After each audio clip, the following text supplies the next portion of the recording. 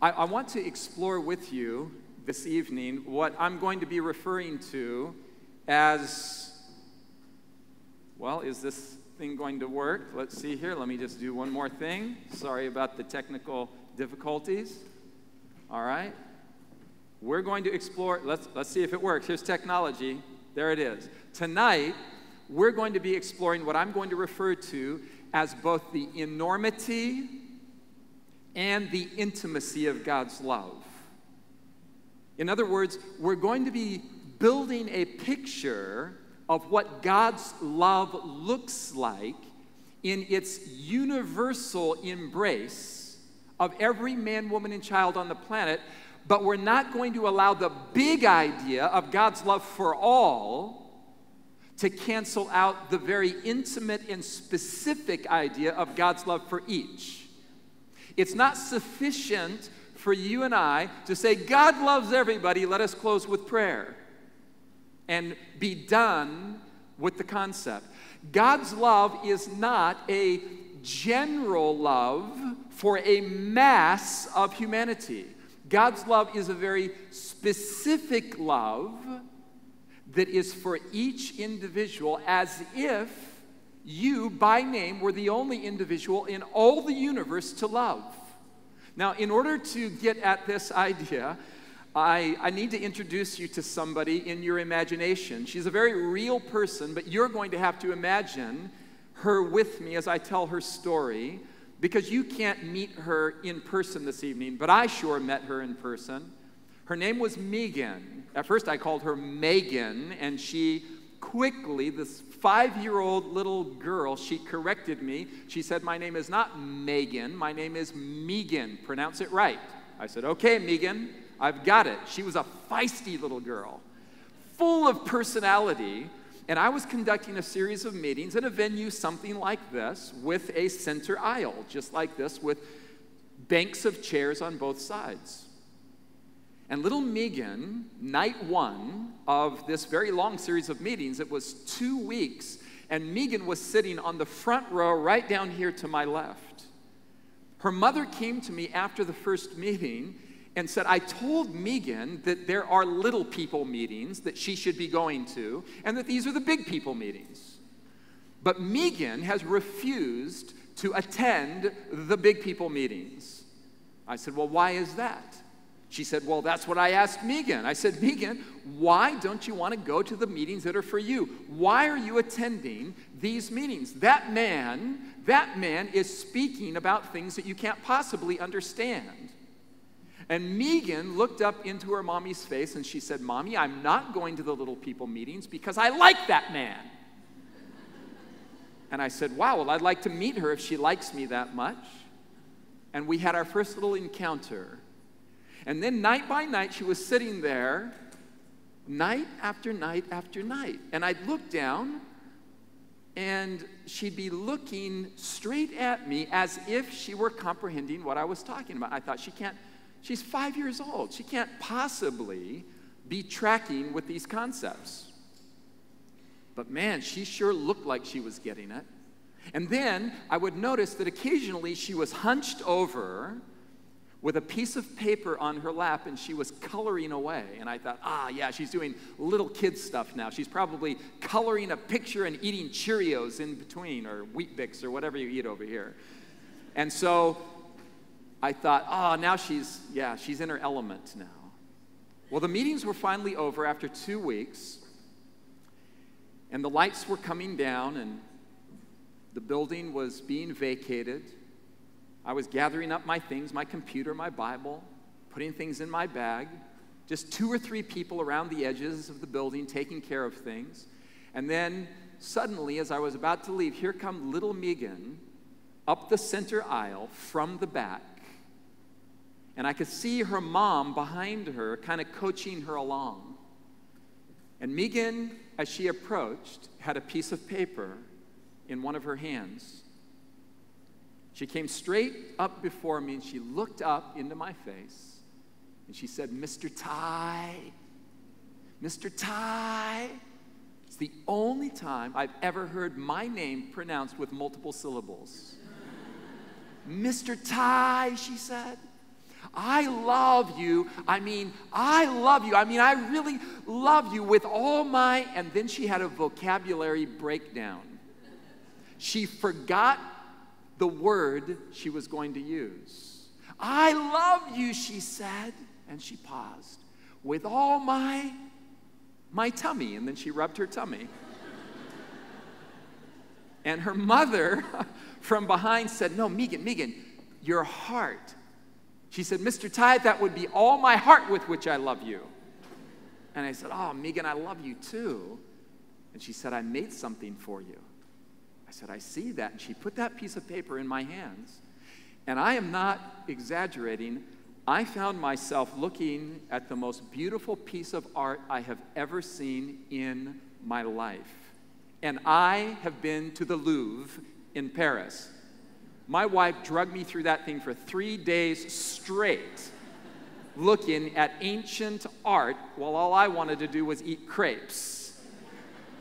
So I've seen the best art in the world, but right now I was looking at something that transcended all of that.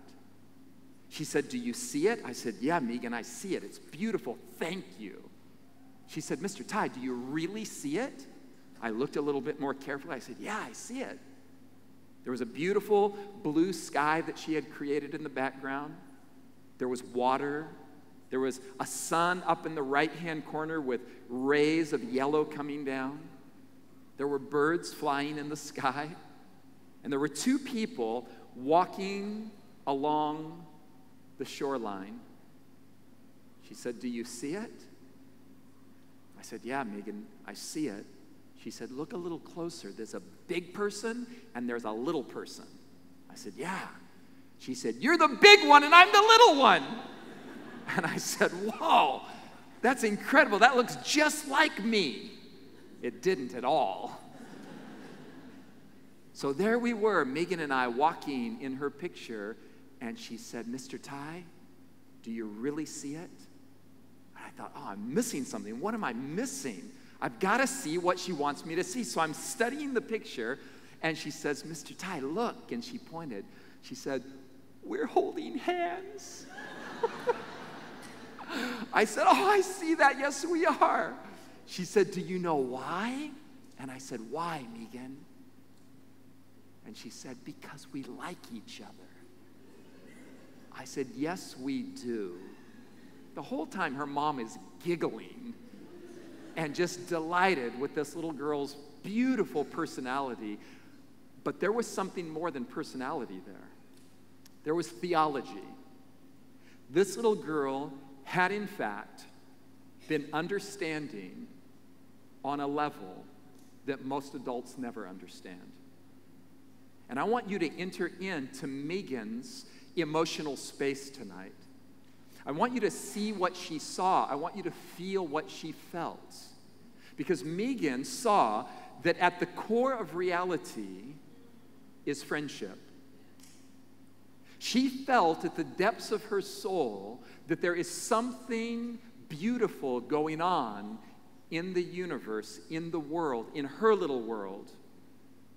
And I want you to see that tonight. I want you to feel that tonight. Now, Megan said something. She said, I love you with all my heart. Now, my question for you is a philosophical one, it's a technical one this evening. Think, think with me, feel with me. Did she, in fact, love me with all her heart? I mean, she had a mom. I met her mom. She had a brother that I heard about. She had a father. I mean, if she loved me with all her heart, was there any love left for them? Or let me ask the question, let me ask the question from another angle. Is love a divisible sum or is it an exponential reality? Is love of such a nature that you can love a mom and a dad and a brother with all your heart simultaneously? Is love the kind of thing that you have to divide up because there's only so much for you and so much for you and so much for you? I think Megan was experiencing a largeness of love, a breadth of passion, a, a emotional sense of love that was massive. And I think she was telling the truth. Now, let me just illustrate this for you with a very simple thing that you can imagine. I want you to imagine, you have an imagination, right? I want you to imagine right now, for the sake of entering into Megan's theology, I want you to imagine that you have 10 children. Go ahead, do it. You got it? Some of you are struggling. Now, of course, the first question would be why did you do that to yourself? But once you get past the shock and awe of the whole thing, there's a very, very simple question, isn't there? You have 10 children. Here's my question Do you love all 10 of them with all your love, or is it 10% for each? Again, is love a divisible sum or an exponential reality? Now, we're going somewhere with this. We're finite creatures, finite beings with finite emotional capacities. And so the illustration, of course, would begin to break down if you push it to the extreme with you and I. If you had 79 children, for example, right? You wouldn't even give them names, you would assign them numbers. You wouldn't have dinner around a table. You would fill a cattle trough full of spaghetti in the backyard and lock them out of the house for days at a time if you had 79 children. You and I, we're humans, and so our capacities are limited. Are you tracking with me? We're finite. But listen, God is infinite in God's capacities. So the illustration holds true for God no matter where you take it. There are, I don't know, 7.4 billion people on the planet right now.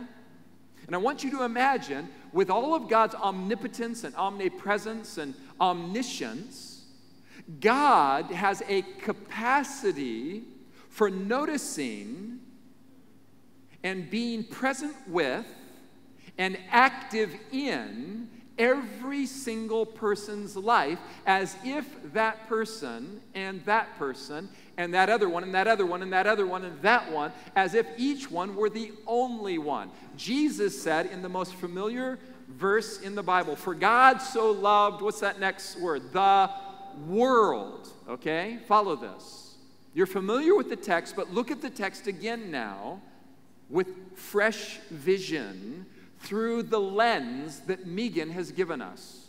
For God so loved the world that he gave his only begotten Son, that whosoever believes in him should not perish but have everlasting life. I want you to notice that, in fact, God's love is enormous. It encompasses the world. God, yes, it is true. God loves everyone. God loves the world, right? But notice that God not only loves the world, He loves the world in general, and then there is the very specific whosoever.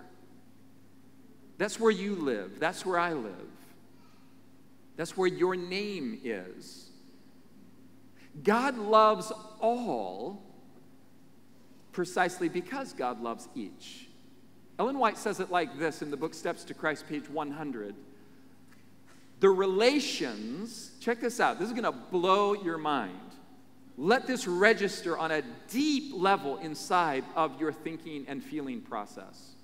The relations between God and each soul are as distinct, notice the language, and full as though there were not another soul upon the earth to share his watch care not another soul for whom he gave his beloved Son. Are you getting this? God's love for you is as full and distinct as if you were the only person in all the world to love. There is a very real sense. It's not hyperbole, it's not exaggeration for effect, it's not metaphoric. There is a very real and concrete sense in which you are alone in the universe with God. That is how hyper conscious He is of you. Jesus said that he, he knows how many hairs are on your head. This is, this is a level of conscious awareness of the individual that's hard for us to understand. And yet we can understand it even on our human level. Because our love on a finite level, we were made in God's image after all, operates on a finite level the way God's love operates on an infinite level. I mean, you and I can understand that when you really love someone, there is a sense in which you are alone with them in a crowd, right? If you're a mom or a dad and you have a seven year old child and you are in a busy public place with hundreds of people swarming around, there is a very clear sense that your love for that child makes you hyper conscious of them in the crowd. Yes or no? You know exactly where they are at all times. If they're out of your sight for even 10 seconds, your heart begins to race and you're looking to locate them. So there's a sense in which your love calibrates your level of sensitivity toward a person. My wife usually travels with me. And uh, as we're traveling and preaching, it's often the case that I'll go backstage and I'll come out and I know she's out there somewhere. She, she, she came in the building with me. I went there. She went there. Now, instinctively, without even thinking about it, as soon as I come out, I automatically locate her in the crowd, wherever she is. My eyes just scan. Oh, there she is. Okay, so I, I'm clear. There she is. There's all the other faces, but my love for her increases my sensitivity to her presence in the crowd. I find her, I can't look very long. I have to just tell you the truth. I can't look very long because the girl is crazy. She flirts with me with her eyes. I have to say to her, I have to say to her with my eyes, when you've been married for a long time, you can communicate without words. She'll look at me in that certain way, and I'll look at her in my certain way as if to say, hey, girl, I'm about to preach. Quit looking at me like that. And I'll just look away but I know where she is. There's a sense in which I'm alone with her in the crowd. Now, think about this. Think about this. According to what we're reading here, God has that kind of sensitivity and that kind of awareness of every individual in every crowd. Nobody is lost to God's awareness. Every single person, not just in this auditorium this evening, every single person, every seven point whatever billion, and God knows the exact number, He knows every single name, every history, every experience, every tear that has been shed, every smile. God is aware of each one, and that is the nature of love, even on our human level. And we're broken and dysfunctional. And we can understand what it's like to love somebody so deeply that you are aware of them every waking moment. C.S. Lewis says it like this I am so, so amazed by this penetrating insight, and I hope you are too. He, that is Jesus, died not for men in general but for each man. If each man had been the only man, if each man had been the only man made, he would have done no less.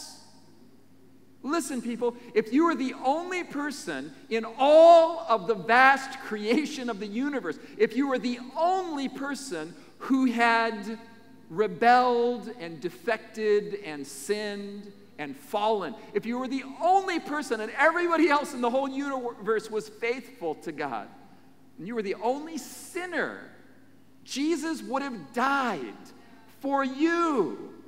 He values your life your happiness, your eternal well being more than his own existence. Now, in order to really wrap our minds around this, I want to share with you an illustration this evening. In our illustration, this is you.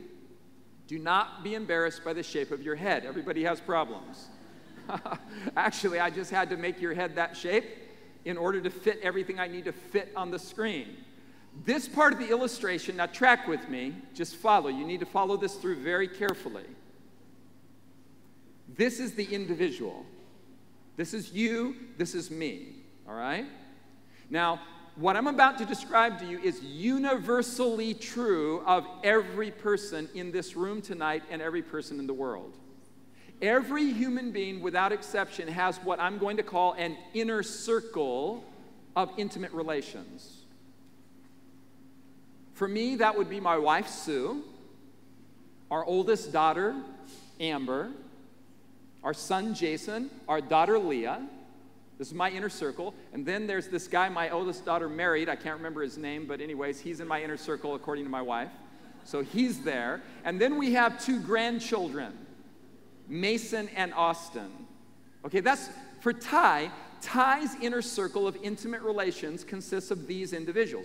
Now, you can very easily name your inner circle. Might not be the, the same exact number, but there are two or three or four or five or seven or eight or ten people that compose your inner circle of intimate relationships. Now, every person in my inner circle also has their own inner circle, right?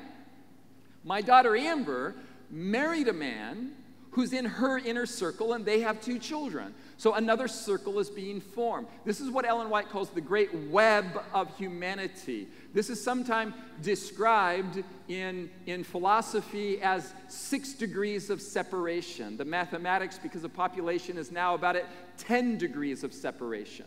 The whole human race is connected like a, an internet network. All of us are connected, okay? Now, in the illustration, if you can see at the bottom, I can't see what you're seeing, so I, I hope that you're able to see this illustration. Do you see a line at the bottom of the screen?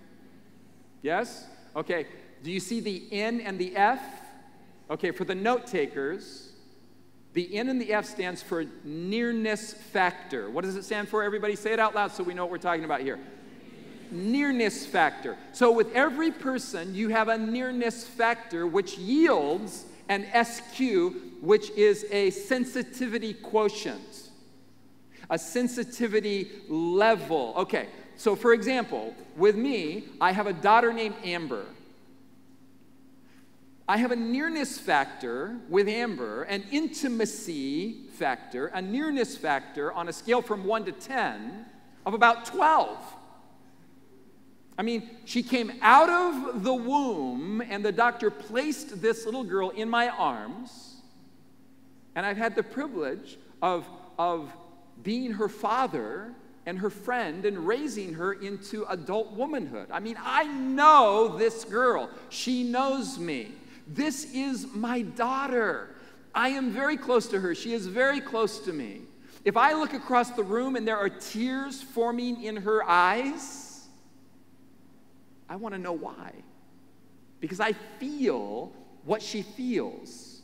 There's a closeness, there's a relational nearness. Now, now that nearness of relationship yields a sensitivity level on a scale from 1 to 10 of 10, 12, 15. I feel what she feels. If she laughs, my daughter, she's so silly. I love her. She, she will start giggling. She does this just to torment me. She'll start laughing, and I'll say, What's so funny? And she'll say, I just told myself a really good joke in my head. To which I'll respond and say, Well, what is it? I like funny stuff. Tell me. To which she'll respond and say, No, no, no. It's, it's private. It's for me. You can't hear this one. And I'll be tormented for the rest of the day until finally she will divulge the funny thing that she told herself in her mind. There is something going on there. I want to be in the inner precincts of her laughter, of what makes her happy. And if she is sad, I am sad. This is how love works. Let me say it to you this way, it'll immediately make sense. You will agree with this. I don't even have to give you Bible verses for this because it's so intuitive. Everybody knows this is how it works. All right, here it is. Here it is. Are you ready? The more you love someone, the more you feel what they feel. Yes or no? Yeah. The more you love someone, the more happy you are when they're happy. And the more you love someone, the more sad you are when they're sad.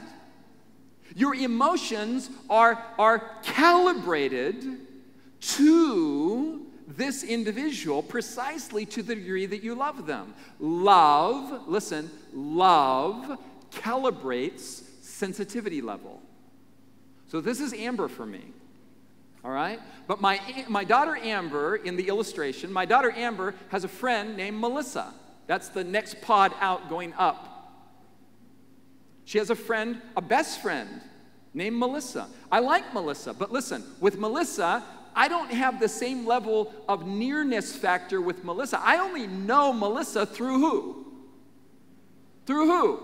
Through Amber. And so let's just say, for the sake of illustration, I have a nearness factor with Melissa of, let's call it eight, and a sensitivity level of eight. But my daughter Amber, my daughter Amber, track on the screen here, my daughter Amber has a friend named Melissa who has a mom, and I think her name is Julie, but I'm not sure. I met the lady. I've never shared a meal with her. I don't really know her. I only know Julie, if that's her name, through Melissa, who I know through Amber.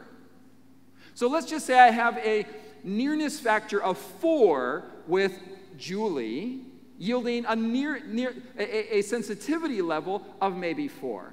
But, but notice how this works. I have my inner circle. My daughter Amber is in my inner circle.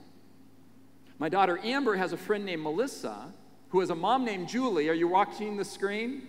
Who has a second cousin on her mother's side in the north of Ireland named Bobby McGillicuddy.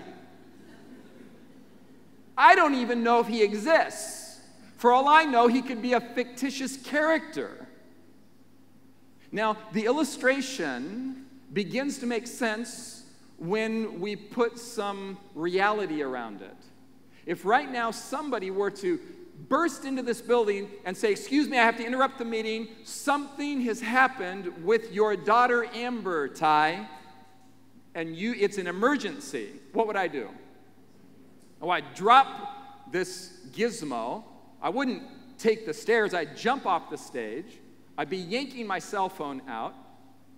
I'd be trying to get her on the phone or somebody on the phone to find out what's going on. And if Amber were really in trouble, I'd be on a flight to her immediately. But if somebody walked in right now and said, Ty, Ty, we just got news that there's an emergency regarding your daughter Amber's friend Melissa, what would I do? I say, Would you all mind just pausing with me right now and praying for Melissa? We'd pray, and then what would I do? I'd continue the message. But if somebody came in and said, Hey, Ty, your daughter's friend's mother's second cousin, Bobby McGillicuddy, has something going on in his life, what would I do? I'd be like, whatever, and I'd keep preaching. Not because I'm hard, mean, or cold, but because I'm finite. I'm just a man. I'm just one human being. I don't have the capacity to love everybody with the level of sensitivity that I can love my two daughters, my son, my wife, my grandsons, right? They're my inner circle. That's how it works for us. But then there's God. Then there's God. And God has his own inner circle. And in God's inner circle, that's me. I just put myself right there at the top. That's, that's me. I'm in God's inner circle. And so with me, God has a nearness factor of 10, yielding a sensitivity level of 10. God feels everything I feel, but check this out. You know who else is in God's inner circle? Amber and Mason and Austin and Melissa and Julie and Bobby McGillicuddy. You know who else is in God's inner circle? That little six year old boy that you saw on the news when the reporter was saying that his parents were just killed in a bombing in northern Afghanistan, and you see the tears have trickled down his cheeks through the dirt. You'll never know his name. You don't know who he is. You don't know what he's feeling. And yet he's in God's inner circle. God knows that little boy. As if that little boy were the only person to be known in the universe. Let's think about it in geometric terms. God's love is a circle, the center of which is everywhere and the circumference of which is nowhere. The geometry of God's love is simply and profoundly this. If you ask me, if, if I ask you, where is the center of God's love? Where is the center of God's focus? Where is the center of God's sensitivity? Where is God's love focused with all the intensity of the divine heart? Where is the center of God's love? You know what I would tell you? It's right there and there simultaneously, and there and there and there. God's love is centered everywhere by virtue of his infinite omnicapacities. God is omniscient, which means God knows everything all the time, every nanosecond of every day. God never has, ever, ever, ever has an aha moment. God never ever says, Whoa, I never thought of that before. God just knows everything, but to say God knows everything is not an abstract concept. To say God knows everything is to say God knows everyone. God knows every single thing that you have ever experienced psychologically, emotionally, relationally, professionally, educationally. God knows everything you've ever experienced as a human being with a precision of knowledge as if you were the only person in the whole universe to know. When you wake up in the morning, I kid you not, God's eyes are upon your countenance. You open your eyes, you stretch, you get up on the edge of your bed, you yawn, and if you're over 40, you have to get momentum now. So you can't just pop up like a jackrabbit. You sit on the edge of the bed, you get some momentum, you stand up and you begin, you don't walk, you hobble through the room. You feel that old familiar pain from years of sports. You, you, you, feel that pain in your left knee, and nobody knows that pain, but God does. The first time as you go through the day, the first time that you feel that old familiar grief, because of the loss of your mother, God is present to the pain of that memory. And the first time that you crack a smile and, and laugh because you see something beautiful like two hummingbirds outside your window dancing in midair, God is present to that joy. The Bible actually teaches what I'm telling you this evening. I'm not making this up.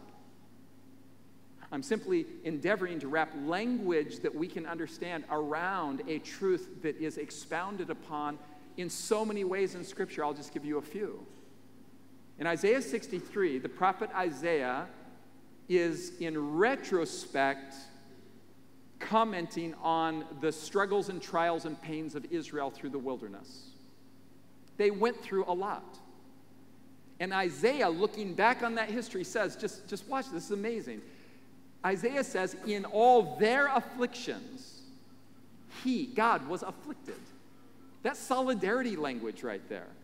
That's the language of empathy. In all their afflictions, he was afflicted, and the angel of his presence saved them. Now, notice this in his love, in his love and in his pity, he redeemed them, and he bore them and carried them all the days of old. This is amazing language.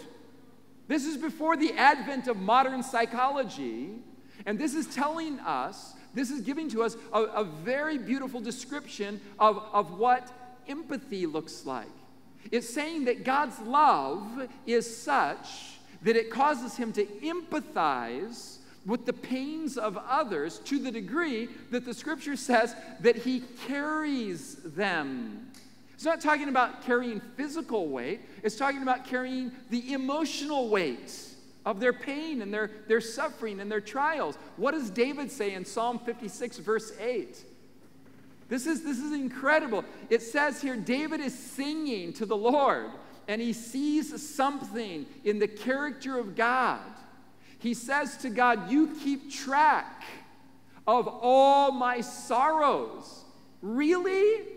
Does God literally keep track of all my sorrows? The way, the way an accountant keeps track of dollars and cents? Apparently so. And then, and then he says, You have collected, God, you have collected all my tears in your bottle.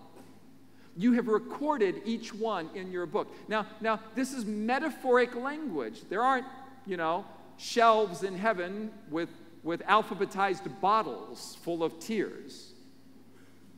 It's a poetic way of saying that God, in his own memory banks, is precisely aware of every tear you've ever cried. This is the God of the universe, people. This is God is not a stoic, distant God who sits on a throne with, with outstretched arm and pointed finger giving commands. This is a God who feels all the joys and the pains of the world in which we live. God is not only omnipotent, not only omnipresent, not only omniscient, God is omnipassionate. God is omnibenevolent. God's love reaches out in all directions and encompasses every man, woman, and child. So much so that the author of Hebrews says in chapter 4, verse 15, that he is touched with the feelings, the emotions of our infirmities. And, and Jesus said in, in, in a familiar text in Matthew chapter 25, I'm just giving you a sampling of this, this incredibly beautiful picture of God's love in Scripture. Jesus said, Inasmuch as much as you did it to one of the least of these, my brethren, notice this language, you did it to me. Inasmuch as you did it not to the least of these, you did it not to me. You know the context. Jesus is saying, when somebody is hungry and you feed them, it's as if you fed me. That's how love works.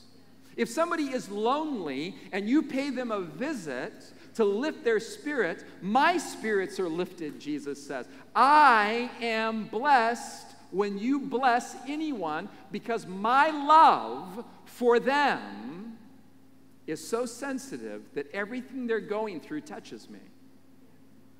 This is the God of the universe.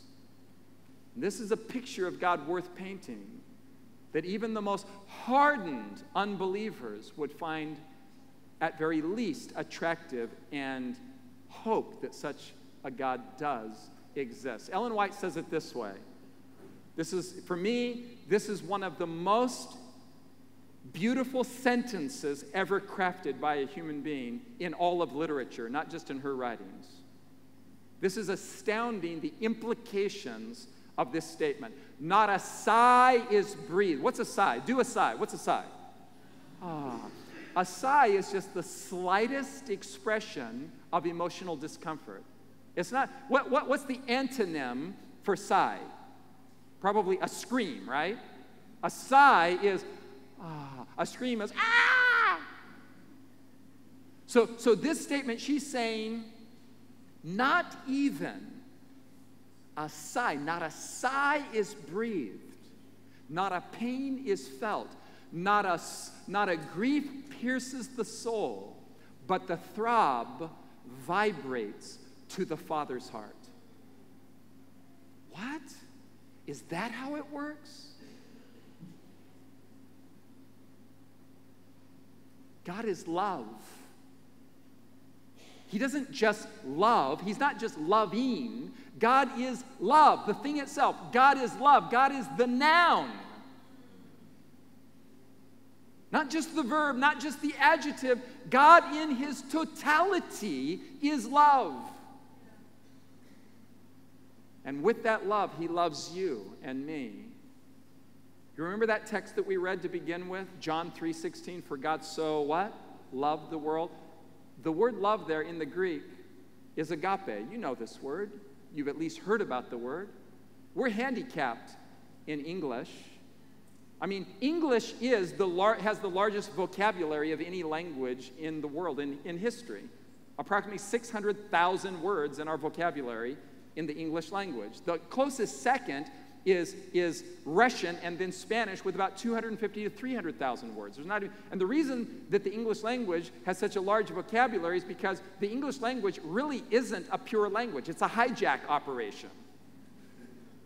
It's not a pure language, it, it, it's a heist.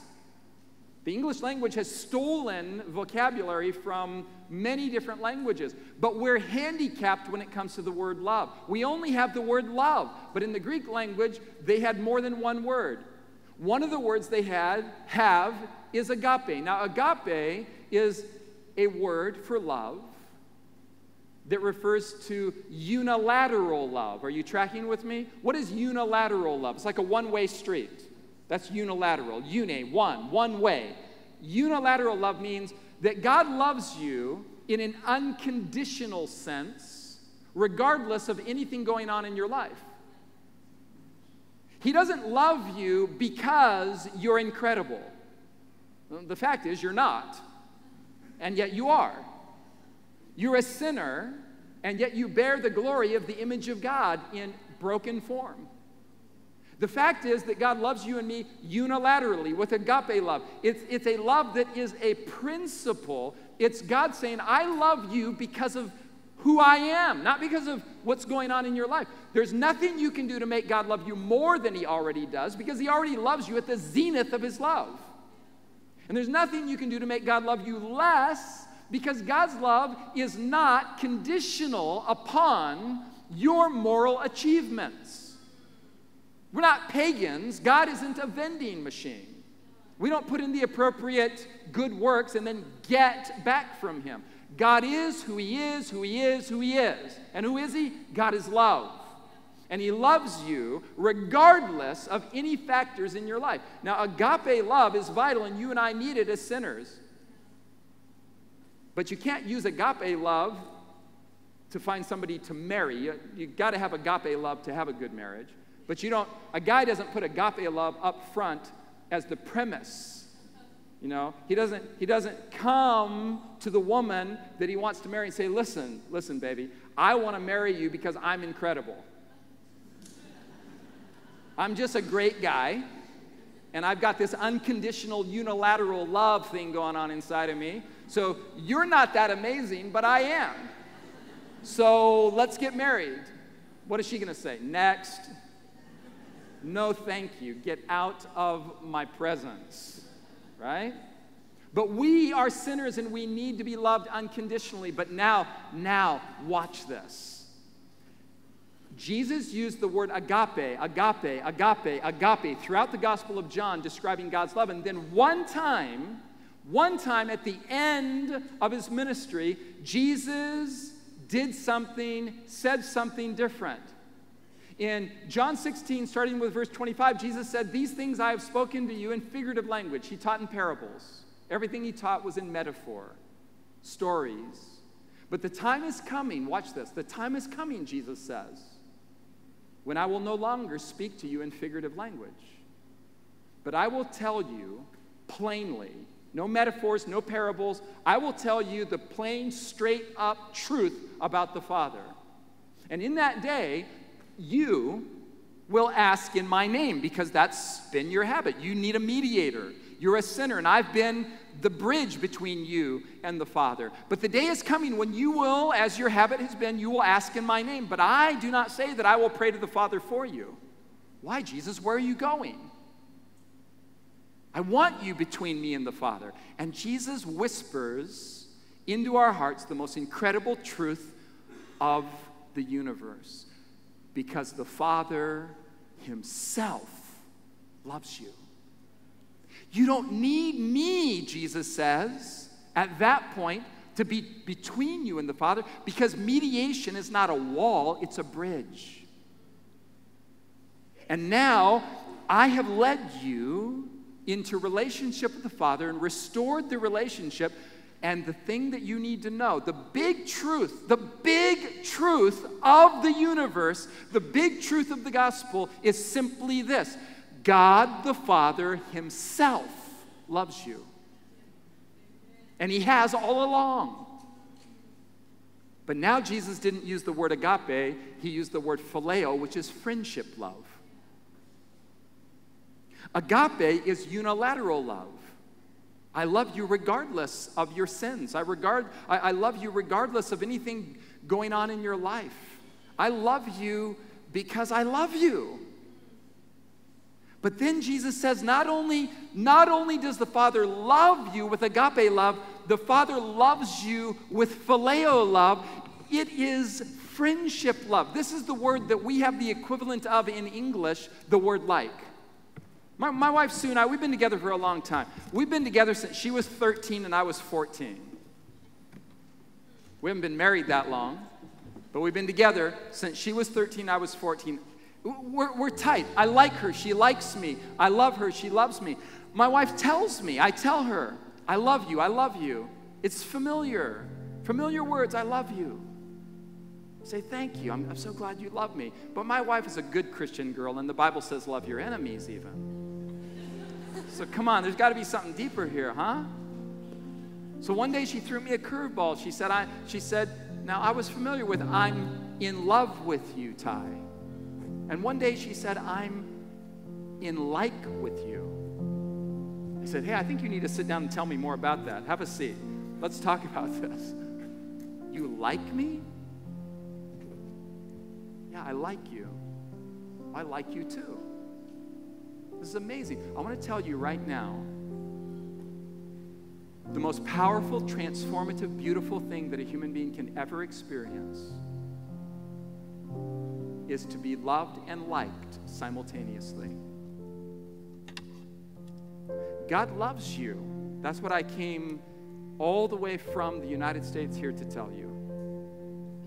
God loves you with a profoundly unconditional love.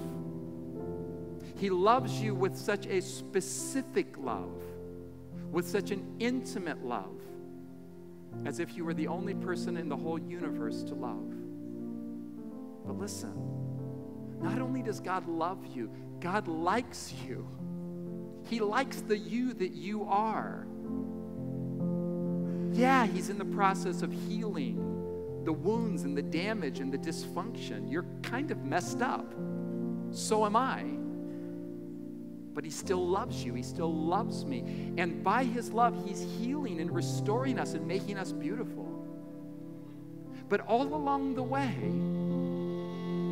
God loves you and He likes you. He doesn't just want to save you in the sense of giving you eternal life, God literally wants to spend eternity in fellowship with you.